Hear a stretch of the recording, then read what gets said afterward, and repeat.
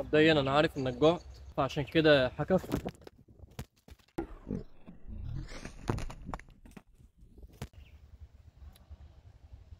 أدي ميزة العقبان كائنات لطيفة وظريفة وكيوت ومش هتبهدلك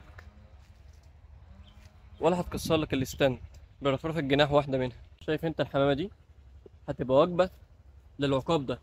إحنا النهاردة هنشرح إزاي تروض عقاب التوني واحد من أكبر أنواع العقبان اللي بتيجي مهاجرة لمصر ولكن هي نادرة جدا في مصر.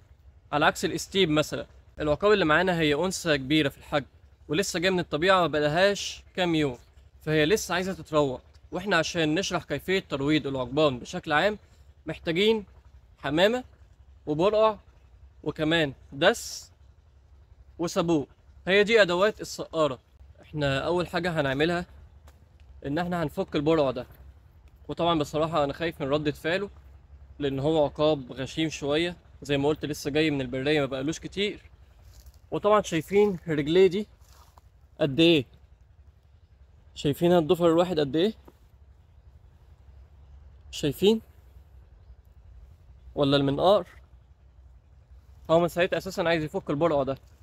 فأنا خايف بس من حاجتين يا إما هيعضني يا إما هينط ويحاول يهرب. وفي الحالتين الموضوع مش لطيف ابدا يعني لأن هو هيبهدل الدنيا. فيلا نبدأ. أنا كنت مأكد ورابط البرقع جامد عشان هو ممكن يفكه. حانت اللحظة اللي إحنا بنستناها من ساعتها.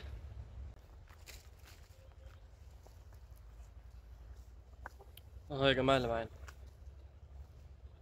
عقاب التوني عقاب التوني فيه ناس كتير مش بتفرق بينه وبين عقاب الاستيك هما فعلا شبه بعض في الشكل والحجم. لكن الفروقات ما بينهم بسيطة قوي. تبص على بيبص دلوقتي هو على الحمام. أنا خبيتها منه إحنا قبل ما نديها له وقبل ما نشرح عن كيفية ترويض الطيور الجارحة أو العقبان بشكل عام عايزين نعرف الأول أكتر عن العقاب ده وعايزين نعرف إيه الفرق بينه وبين عقاب steppe اللي أكتر الناس مش بتعرف تفرق بين النوعين دول من العقبان.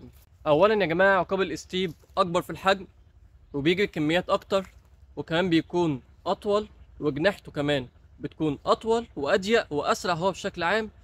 وشايفين أنتوا السحبه اللي هي عند نهاية بقه دي الفتحة ديت عند ال steppe بتكون داخلة لجوه شوية.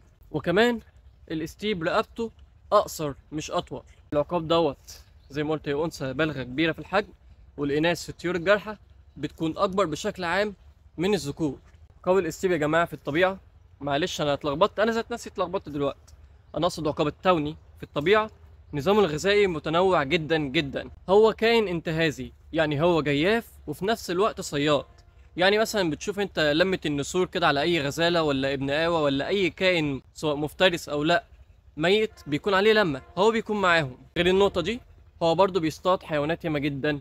يعني من أول الحشرات لحد الزواحف من أول البرص لحد كمان تعبان المامبا السوداء ولحد الورلات.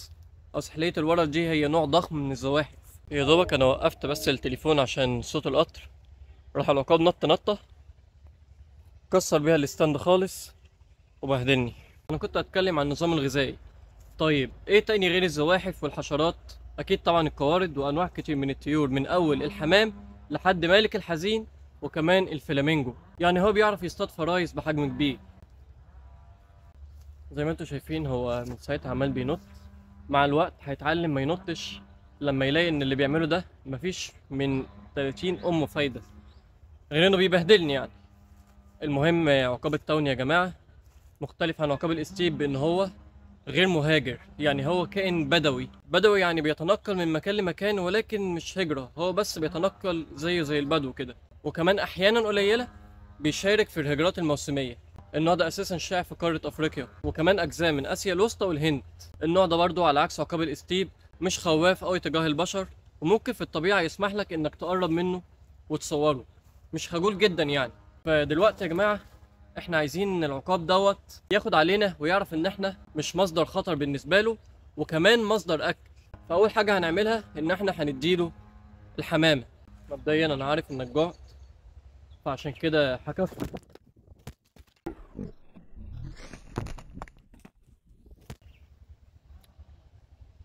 ميزه العقبان كائنات لطيفة وظريفة وكيوت ومش هتبهدلك ولا هتكسر لك الاستند برفرف الجناح واحدة منها. مع إنه ما يستاهلش. بس هنكافئه. بالمناسبة يا جماعة.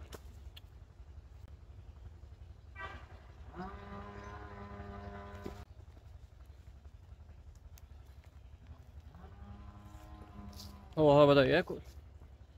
كنت اتكلم بالمناسبة. أي طير جارح سواء عقاب أو صقر أو أي حاجة لو أنت عايز تروضه طبعا إحنا الأول بنروضه قبل ما نخش في مرحلة التدريب. والعقاب اللي معانا إحنا الفيديو ده بنروضه بس.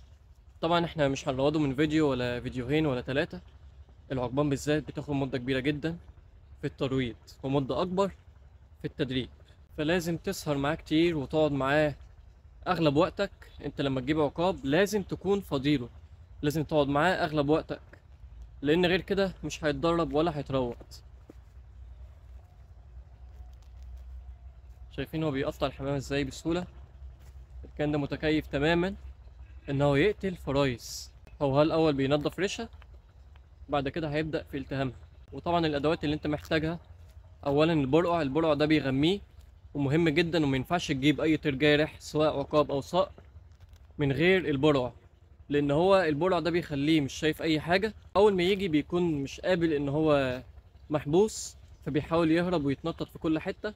البرقع بقى مش بيخليه شايف حاجة وبيخليه يفضل ثابت مكانه. وكمان انت ممكن تأكله هو لابس البرقع لو هو لسه جاي لسه أول يوم عشان يقدر يعيش معاك لأن انت لو حاولت تأكله أول يوم الاحتمال الأكبر إن هو مش هياكل قدامك ولا هيرضى ياكل خالص. كمان العقاب اللي معانا هو في مرحلة غيار الريش. لازم أي طير جارح يكون معاك في مرحلة غيار الريش تأكله كتير قوي لأن هو محتاج يتغذى كويس في الفترة دي. طيب يا جماعة عشان أنا دراعي وجعني دلوقتي أنا بحاول أكله. هو بقى متردد بسبب الكلب اللي عمال بيكون حوالينا لما نكرر اللي إحنا بنعمله ده بقى كل يوم العقاب هيفهم إن إحنا اللي بنديله الأكل وأنا هو قاعد جنبه ومش عايز اخد الأكل منه ولا أي حاجة. فعشان كده هو بياكل وهو مطمن أي نعم هو لسه ما إمتى تعرف إن هو متروض خالص؟ لما ما يحاولش يطير وكمان ما يحاولش يكفخ أو يعض أو يخربش. أنت ممكن تروض صقر في خلال أسبوع مثلا أما لو عقاب مش هتقل عن الشهر لأن هما يعني دماغهم غبية شوية مقارنة بالصقور. دول فصيلة والصقور فصيلة تانية خالص. العقاب كمان بياكل حاجات أكتر من الصقر. في حاجات بتبقى غلط على الصقر ولكن العقاب ما يهموش زي الفراخ مثلا.